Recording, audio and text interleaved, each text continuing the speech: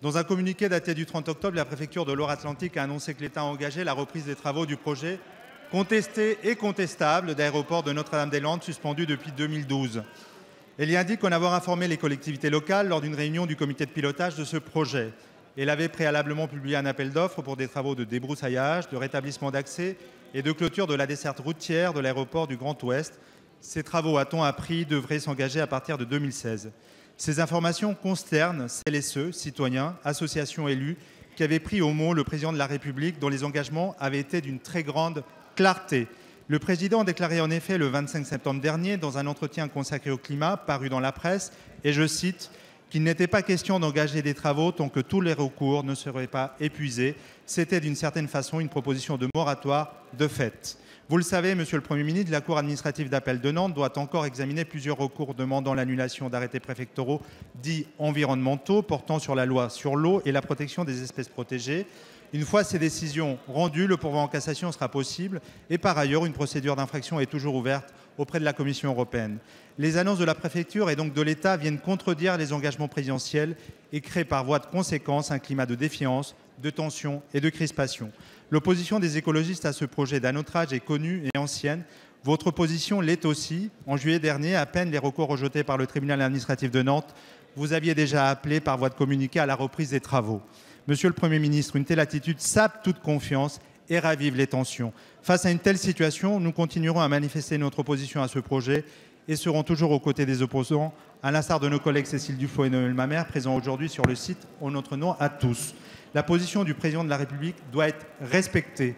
À moins d'un mois de la COP21, pourquoi le gouvernement a-t-il décidé de s'en affranchir? Merci. La parole est à Monsieur le Premier ministre, Monsieur Manuel Valls. Monsieur le président, mesdames et messieurs les députés, monsieur le député Coronado, vous le savez, je l'ai rappelé ici même et au Sénat le 15 octobre dernier, vous l'avez rappelé, le tribunal administratif de Nantes a rejeté en juillet l'ensemble des recours déposés contre les arrêtés préfectoraux.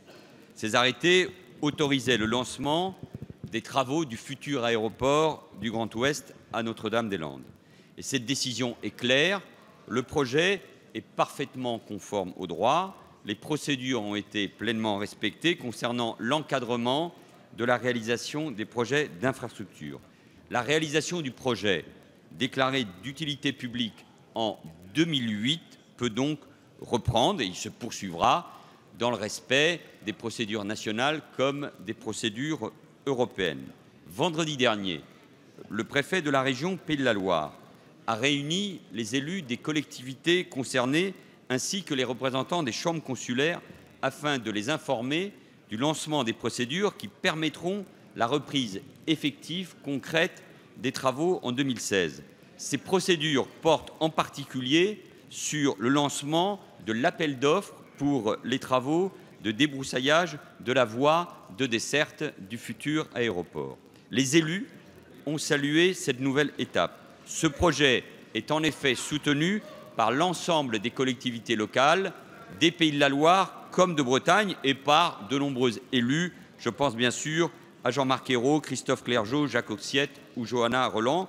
Ce projet, je veux le rappeler très tranquillement, est important pour l'économie du Grand Ouest. Il est important, bien évidemment, pour les 42 000 personnes qui sont survolées par les avions décollant ou atterrissant à Nantes Atlantique.